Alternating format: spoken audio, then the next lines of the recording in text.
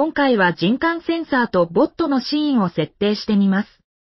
人感センサーが動体検出、暗いと検知したら、ボットをオンにするシーンとなります。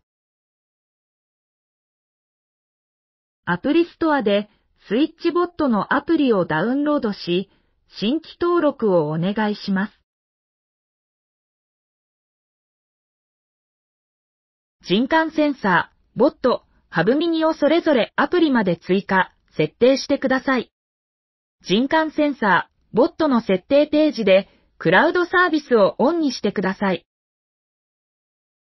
Bluetooth デバイスですと、シーンのアクションまで利用するには、必ずハブミニが必要となります。Wi-Fi 機能のあるデバイスは、クラウドサービスが自動的にオンです。次にシーンについて簡単に説明します。シーンは条件とアクションの2つの部分があります。条件は4つのタイプがあります。アクションは各デバイス操作とリモコン操作に分けています。ホーム画面で下の欄のシーンを押し、右上のプラスマークをタップし、設定に入ります。動体検出された、照度、暗くなるを選びます。ボットオンをアクションとして設定します。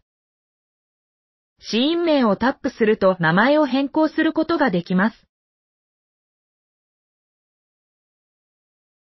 日時の指定もできます。